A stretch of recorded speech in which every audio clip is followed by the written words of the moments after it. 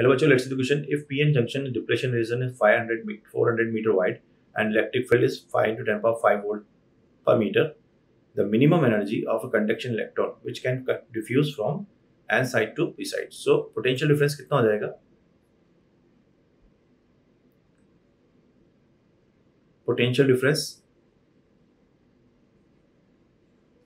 across the junction